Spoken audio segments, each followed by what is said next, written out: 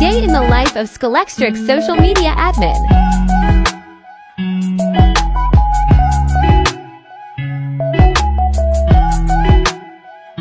Thank you.